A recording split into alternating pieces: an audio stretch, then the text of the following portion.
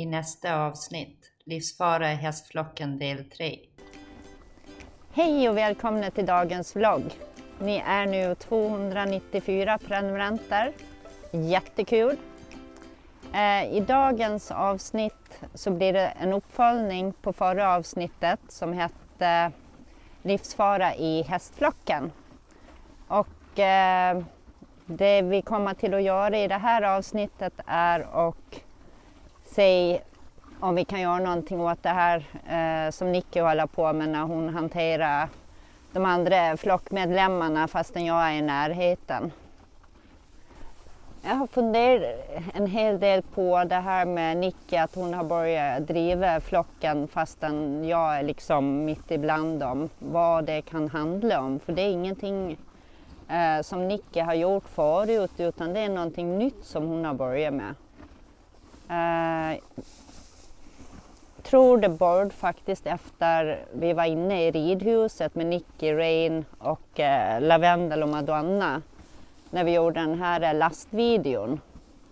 Det är nästan så jag får en känsla av att Nicky kom ihåg allt kul som hon och jag har haft i ridhuset. Och de grejerna som Nicky och jag brukade göra i ridhuset, det var att vi brukade hålla på med eh, löshoppning, vilket var en av hennes favoriter. Det tyckte hon var jätteroligt.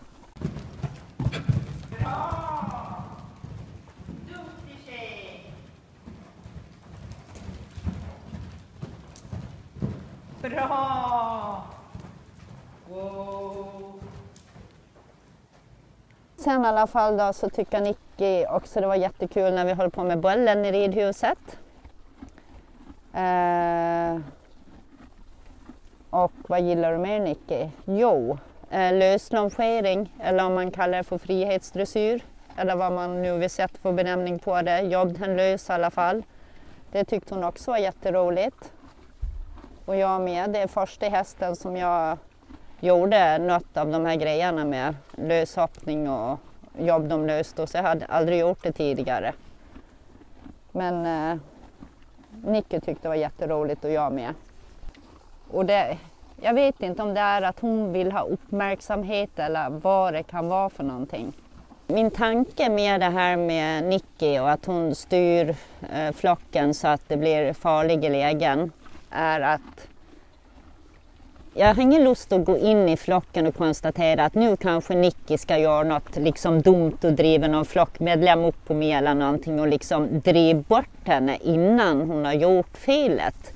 Det, det vill jag inte utan är hon snäll och trevlig så får hon vara med. Utan jag måste liksom hitta någon annan lösning på det. Och då har jag funderat på om jag skulle göra lite övningar med henne. Eh, så det jag vill göra är att sätta på Nicky repgrimmen.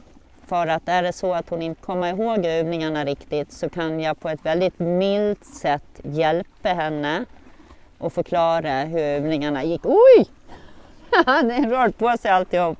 Hur övningarna eh, gick till, går till. Så det tänkte jag börja med i ridhuset då. då.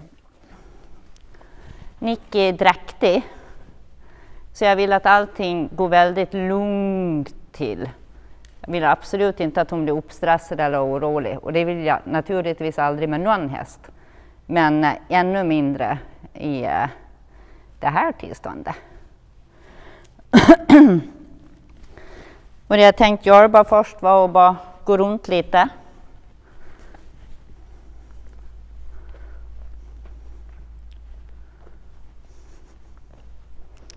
Se att de följer med fint.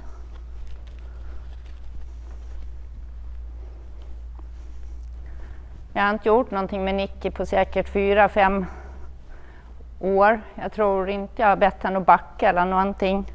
Hon har bara liksom hängt med som eh, eh, mamma till eh, Rain då, då. Och innan dess var hon i Frankrike ett tag, så där har hon också ett föl. Nicky är eh, reininghäst och har en eh, fantastisk, eh, fantastisk personlighet och en underbar individ. En annan sak som jag vill göra då, då är att eh, se att backknappen sitter. Och då börjar jag först med eh, ett stadigt tryck. Lägga handen här. Here in. Och det är inte att jag lär Nicky några övningar nu. Nicky kan övningarna, dock har hon inte gjort dem på enormt länge. Ser vi om Nicky kan gå bara på eh, kroppsspråket då. Sätter du huvudet där. Mm.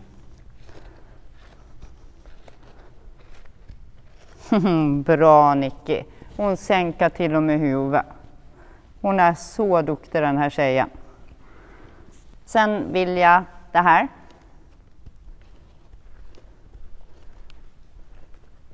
Bra Nicky. Och sen så kan vi se den också på kroppsspråket bara då. då. För i flocken så har jag inga grimmar på dem när jag eller Nicky då får för sig att hantera flocken så jag vill ju kunna göra vissa gre grejer utan grimmar.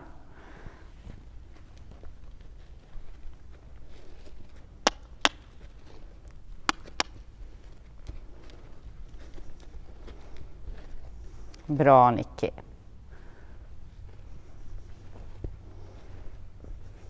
Bra. Sen efter det så tänkte jag se om hon kommer ihåg hur det var att göra övningarna löst. Sen så vill jag gärna att hon går på mina handsignaler. Om jag pekar i någon riktning, alltså styr dem i någon riktning, så vill jag att de går.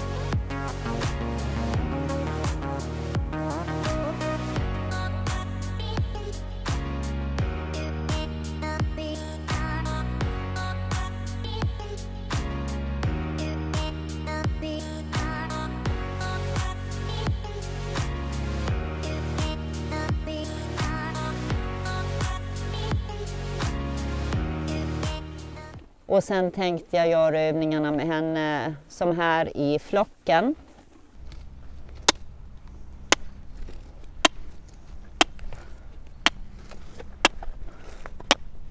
Bra!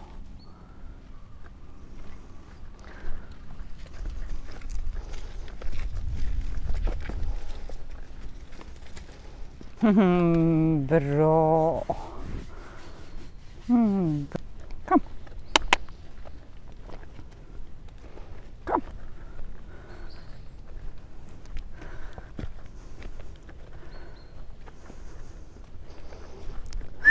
Nicky. Kom. Kom.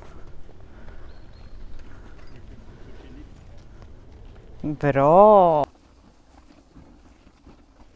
Sen tycker jag också att nu när jag har börjat gjort lite övningar med Nicky så när jag kommer in i flocken eh, så tycker jag Nicky liksom ser glad ut och kommer fram och gnäggar och ja, det känns liksom som att hon vill bli sedd och göra någonting också. Jag vet inte om de här eh, övningarna jag kommer att göra med Nicky är lösningen på det här eh, flockproblematiken eh, som har blivit med henne. Men jag tycker det är intressant att pröva sig fram och börja med de mjukaste metoderna och testa sig fram.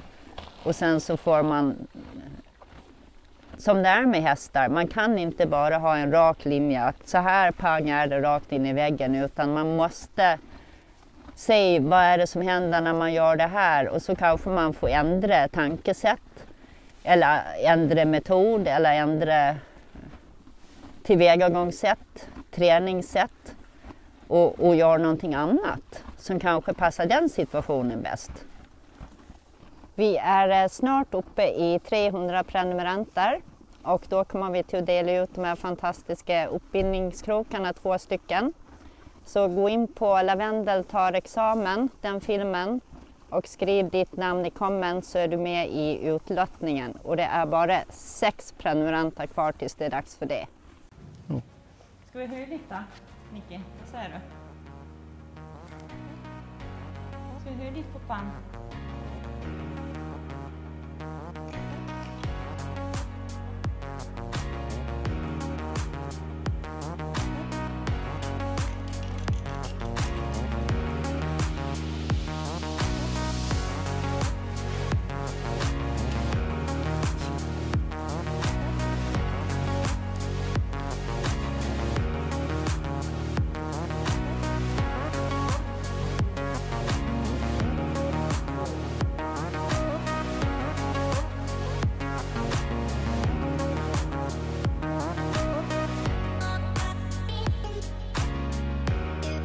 Nicky hon är en av de absolut trevligaste och roligaste hästarna. Jag älskar all min häst och tycker alla är roliga, fast Nicky hon är extra rolig. Eh, hon väntar för med Viss Little Star, Lomeli. Hon och Nicky, eller han och Nicky påminner väldigt eh, mycket om varandra. Den här känsligheten, den här vilja följa, tycker det är kul att göra grejer. Ehm, Tror att Rain faktiskt är likadan. Mm, dock har jag inte gjort någonting sånt med han. Mer än i hagen möjligen att jag vinkade till honom att han kommer.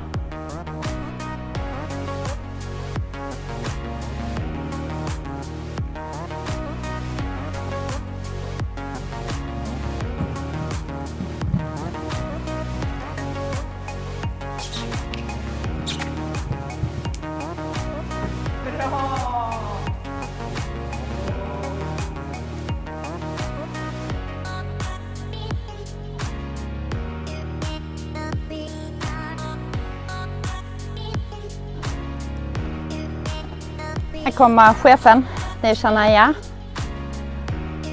Eh, Nicky är dock hon som eh, styrar till med problemen och hittar på dumheter och driver de andra i flocken. Som ni såg när Trash och Madonna sprang på mig. Eh, Nicky flyttar inte på Shania. Och Shania, skulle man, inte, skulle man komma in i den här flocken skulle man tro att Shania var ledaren. Eh, får man märka knappt av henne. Eh, det är Nicky som gör väsen av sig, men det är inte hon som bestämmer här inte, utan det är Shania. Nicky skulle vilja bestämma, men det är Shania förklarar för henne att det går fet bort.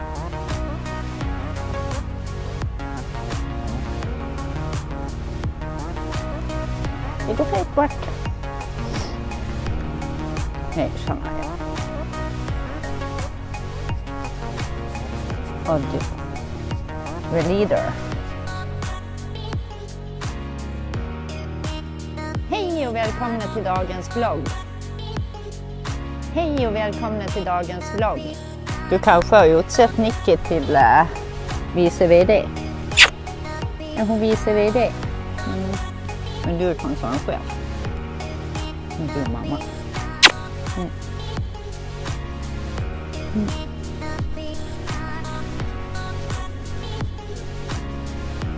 Så egentligen det säkraste stället för mig att vara, det är eh, uppe på Shania, för Shania flytt, eh, en icke-flyttan på Shania. Så det är bra. Ja, det är bra.